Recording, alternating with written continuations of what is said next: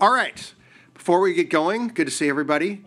Um, Emma has a bit of team news for you. Kat Macario um, will not be part of the Olympic roster.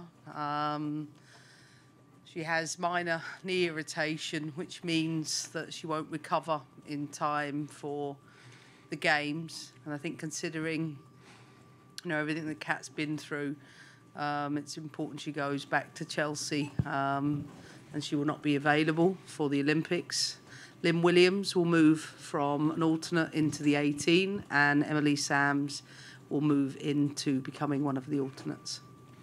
And just important to mention that this is not official yet because we've got to submit all the paperwork. So it's pending approval by the IOC, USOPC, and FIFA. But that's the move that's going to be made. Should we wait for everyone to finish their tweet before we get to the questions? Meg wins. Um, do we have mics or no? We do. All right, questions for uh, Emma. Go ahead, Meg. Just to follow up on that news, Emma, in terms of what Lynn Williams now adds to this 18 as she was originally an alternate, I was just hoping that you could maybe elucidate what you think Yeah. might change for this uh, 18 strategy that you had originally planned. To be honest with you, nothing, because I always viewed it as 22, and with the rule changes as such, um, absolutely nothing changes. What does change is that without Cat, is I have to think about some different permutations for the team, which I've already reflected on, and for us, it's about now looking towards that and um, you know, making sure that everybody else knows what those adjustments might be. And I think, you know, I, think, I want to say that I'm absolutely gutted for Kat. Um, someone I've worked hard with in the last 12 months. She's really put a shift in to get there, but it's not to be. And, um, you know, I know the team um, certainly want to give her our best support, but also this is an opportunity for someone else. Emily Sams has been training the last two days, but again, I know I get asked this question a lot. I've been watching players the whole year, so she's for me been a top performer in the league and someone who's been outstanding in the last two training sessions and someone who's got the ability to play both fullback, centre back, and that will give us some other options elsewhere. Up front here. You pick, Illy. Appreciate it, Anna. Angie Jones, Believe Network. Thanks, Aaron. Emma, um, when you made the decision and with Kat, was it like this morning? And when did she start feeling like pain in this knee right now with this new unfortunate element for her? Thank you. Well, she trained the other day, but she had had some irritation leading up to that, and it reacted. And having been through the last 12 months with her, I know that there is, you know, it's complex. So her welfare comes first. And as I said, she's done everything she can, and she's devastated. Um, but it's not a long term situation just not going to recover in time for the Olympics. Jonathan. Thanks, Aaron. Hi, I'm Jonathan Tannenwald of the Philadelphia Inquirer. With the attacking midfield depth, where Cat had been listed as a midfielder, Rose is there obviously, but you're now down a midfielder. Who are your candidates if you need somebody extra in that area to go in there? And with Lynn, she was an alternate in, in 21 also, and then the rules changed, and she's Correct. an alternate this time. What have your conversations been like her, a veteran player who's in that alternate situation twice now, and what that says to you about her willingness to do it? Um, well, first of all, if you know the way I develop teams, I'll always have a solution. Firstly, secondly, the challenge of of making um, that work is one that I enjoy, and I know I will. I think when it comes to Lynn, we had a really great chat last night. To be honest with you, it was lovely. In fact, I made people wait an extra half an hour that were outside the door, not players. I might add staff because we were having such a good chit chat about the differences between millennials and Generation Z, and how they use the heart emoji Like, she she said it's got like more of a downward heart emoji that apparently the youngest generation uses. I did not know that. Is that generation? Oh, I've got it was beyond me. But we had a really lovely conversation. She made a lovely recommendation for a restaurant across the street that I went to with my family on our day off. Um, listen, I'm sort of I'm straight up person, and she's a straight up person. Um, so it works really well, and we've been really honest from the get go. She's been a delight to be around. She's. I told her this last night. She seems really calm. Um, she's been here before, and I think because she's been here before, she's calm and can handle whatever's there. She will always remind me her job is to make my life difficult. I got a six-year-old. There's no way she can make it more difficult than him sometimes.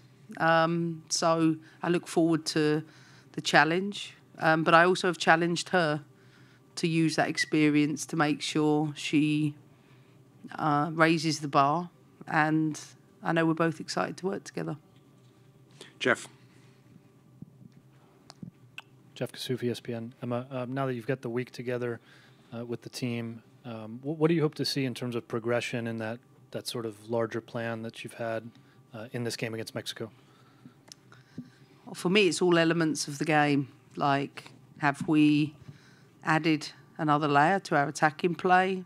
Have we improved in, you know, our defensive responsibilities? Are we taking the next step with our transition responsibilities? And are we able to be even more efficient from our set pieces? So it's the game that we're looking for and gradual growth with that. Uh, for me, is the priority, our tactical objectives uh, in those areas. And second of all, just to, you know, keep developing, I think, the mentality that that we need and, you know, performances that uh, are consistent. good, Nancy. Hey, I'm Nancy Armour, USA Today Sports. Uh, the 99ers are going to be honored this weekend. Yeah. What do you remember about that game? And spinning forward 25 years, what do you think their impact has been, not just on women's soccer, but on women's sports? Um, well, first of all, I'm personally stoked. They know that. I, I like, they were ro- my role models as an English girl, and not because I could watch the game live. I couldn't. We only had like four channels back then. But um, because I've said this before, my father was the original 96 and 99 fan. And he taught me a lot about that team. And I remember watching the game much later on with my dad. Um, for me, it's, of course, the iconic, you know, images from Brandi's penalty to I have this really good, cool picture I use with the team, which is the team on the podium and that ridiculous crowd are like unbelievable. And across it, I put a quote: "People uh, don't remember time; they remember moments," and that's what I remember. And of course, coming to the country in 2001 and thinking, you know, Mia Hamm was at the time in England you know they'd have their own male equivalent certainly not a female one and to be coaching scores of young girls up and down the country who were obsessed with that team that that was just so that for me the legacy is always what you leave in all the young people um, and I think it's really l- amazing opportunity for our team our current team to have these you know these moments these interactions they're very very special and certainly one that I will celebrate We had, go ahead, Sean. Sean Soccer, Long Island Magazine. Have you heard from any past Long Island Rough Riders or Lady Riders since you've been here? Will they be coming to the game? Have they touched base with you? Well first of all thanks for the scarf I really appreciate it I've got such fond memories of being with the Lady Riders I know Kim Wyant will be here um, very excited to see her Kim taught me so much I was so young and so naive and so yet ambitious, hungry. And I remember being 25 while Kim was 37, the back end of her career. She was also my boss and my goalkeeper. And I was, as I said, extremely naive. But I'm so grateful to Kim and everything she taught me. Um, I know she will be here. One of my best friends who played for the Rough Riders, a girl called, she was an outstanding player in Long Island, a girl called Laura Ferry, um, Laura Martin. Um, but all the, I'm, I mean, I saw Cindy Sparrow the other day. I saw a lot of the girls, and they're often sending good luck messages. So some will be here. I know that much.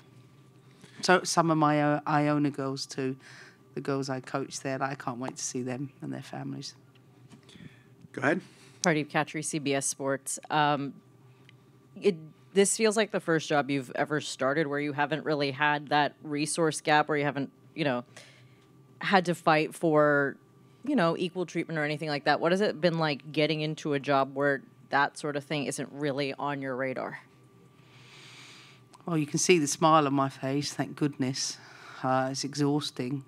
Um, so, um, especially those English journalists in the room will probably note that I look a lot happier as a result of not having to fight sometimes things that, yeah, I don't want to. Um, I think for me, the important things are like put my energy where it matters most, and that is not just to uphold the traditions of the program and to build upon the legacy, but I hope that my work will go beyond this team and go towards the foundation for the future and to put those building blocks in place. That's where I suspect my energy will be beyond winning. So I'm, I'm grateful to be back to just doing football. Uh, that's for sure. But however, I will advocate if it's appropriate, and I don't ever want to change that narrative for this team either. That's what makes them all amazing women. So I will stand side by side with them if needed. And you'll see the size of her staff when you go outside, all the red shirts. Uh, we have one online. Sylvia, go ahead. Thank you, Aaron. Uh, good morning, Emma. Um, I'm just going to pivot slightly. I just have a question around your philosophies around leadership. I know that's come up in your very short stint here uh, with the U.S. national team, but what is it in terms of qualities that you look for for leadership, both in terms of leadership that already exists and players and staff or anyone else that you might want to take that role in the future? And then, two, who are some of the leaders that you've looked to inside or outside of sports? Thank you. Um, well, first of all, it starts with me. I have an executive coach that works with me while I'm in camp, so I'm being coached the whole time. That same coach is coaching Lindsey too, so we she mirrors those things, and we develop her leadership. And first of all, understand you know who she is as a leader. Two, get her key performance indicators right, and three, to offer her support when she's going to need it. So for me, leadership is is you're not just born with it. It has to be learned. There's skills you have to develop to be able to bring the best out in people, and that is a job in and of itself. So I hope that Lindsey and I get the support we need to be our best, and then from there, developing, you know, outward of that, you know, the people in and around, you know, the captain that represents the group and reflects their needs, that she will have a leadership group in and around her, but it's player led. And then I think just doing all the things that really matter, the team creating their team charters so they, you know, have a set of guidelines that matter most to them. And as I've said so many times, whatever the players do, the staff mirror. So I do a lot of stuff where it's side by side, like it's not team and staff, it's it's us and if I expect a certain level of standard and behaviour from a player, I expect exactly the same as staff. So I like this part of it actually. To your point earlier, I've got back to like doing a lot of the leadership work I really enjoy. So, and in terms of role models, everyone. So many, so many. You'll see a few on the field today. Go ahead. Uh, Ella Brockway from the Washington Post. A lot has happened since the last time this U.S. team faced Mexico in February. How have you seen this team and this group progress since that result? Well, in a number of ways, I was almost grateful for that result and performance personally, because I was like, great, need it. Um, could interject and put the right things back into place for that. And um, there's no losing, there's only learning. And I think there's been a lot of that since then. And I know the players are very excited tomorrow, not because it's Mexico, but because it's another opportunity for us to demonstrate the things that we have learned and developed since then. Last one, we're going to cross the pond to our, our friend Richard Laverty. Go ahead, Richard. Hey, Emma. Hope Hey, you're Rich. Well. Um, I was speaking to Tracey Kevins the other day, and she was talking about how this is probably one of the youngest Olympic squads the USA's had in, in some time. I just wondered at this point of the cycle, like how much do you look at the here and now when selecting your squad and winning a gold medal, and, and how much you also looking further ahead? Let me be clear, I'm not here to make the numbers up. Like, first and foremost, I'm here to compete. And everybody here is here on merit. Yes, maybe less experienced, but they're here on merit. So, part of my job is to, you know, prepare them properly, but also give them the opportunities. And I've said it many, many times. You can't do that if you don't play them. and yes, probably COVID played a major impact in there being a less development for less experienced players and tournaments being back to back. But I don't want to waste time. I want to progress this group, and I genuinely believe this country has so many top players, um, and there's top players that are not in this squad that we could probably produce two teams at a world class level. So I need to get about developing them and see how they cope at the highest level, and yeah, looking forward to them. All right. Thanks, Emma. We'll get everybody into the mix zone and we'll get some players.